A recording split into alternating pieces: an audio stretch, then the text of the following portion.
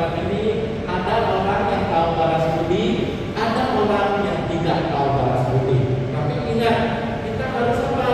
Menjadi orang yang tahu balas budi, ya. Yang kebajikan, kebaikan orang sekecil apa pun kita harus ingat jasa kebajikannya. Nah, sehingga apa? Itulah bekal di dalam perjalanan kita nantinya. Ya,